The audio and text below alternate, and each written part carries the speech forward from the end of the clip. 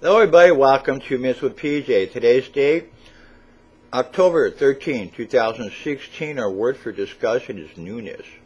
In Matthew 9:16, but no one puts a patch of unshrunk cloth on an old garment, for the patch pulls away from the garment, and a worse tear results. In Luke 5:36, and he also telling them a parable. No one tears a piece of, piece of cloth from a new garment and puts it on an old garment. Otherwise, he will both tear the new and the piece from the new will not match the old.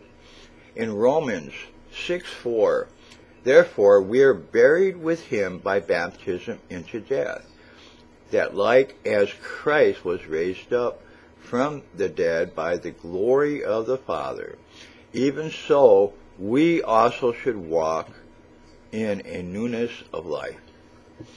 In Romans 7 6, but now we are delivered from the law, that being dead wherein we were held, that we should serve in newness of spirit, and not in the oldness of the letter.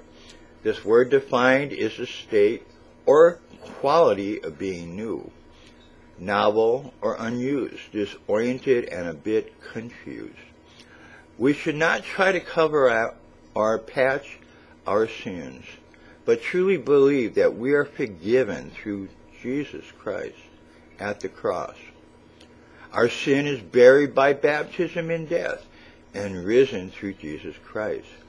We should serve in the newness of the Spirit and not the oldness of the letter.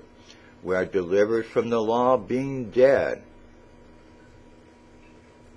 by sin and freed by the Son of God, Jesus Christ. I want you to think about this today. Have a blessed day.